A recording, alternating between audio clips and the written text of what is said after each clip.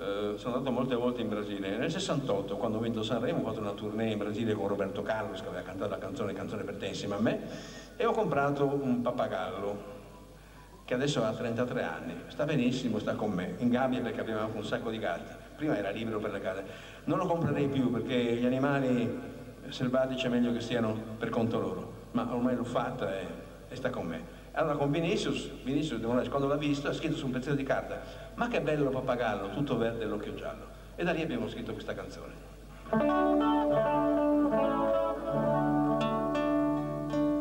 Ma che... Ma che bello pappagallo, tutto verde e l'occhio giallo. Cosa fai? Cosa vuoi? Parli, parli, parli, parli, parlo, tutto verde l'occhio giallo, ma pappagallo.